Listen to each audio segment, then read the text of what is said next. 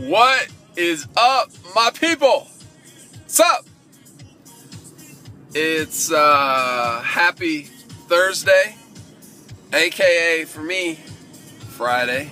Thank you. So, um, listening to a little Rick Astley this morning. Woo! Desert you. Goodbye.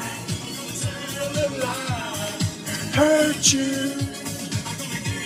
You know, I didn't really like this song back in the day, but uh, I kind of dig it this morning. Peace.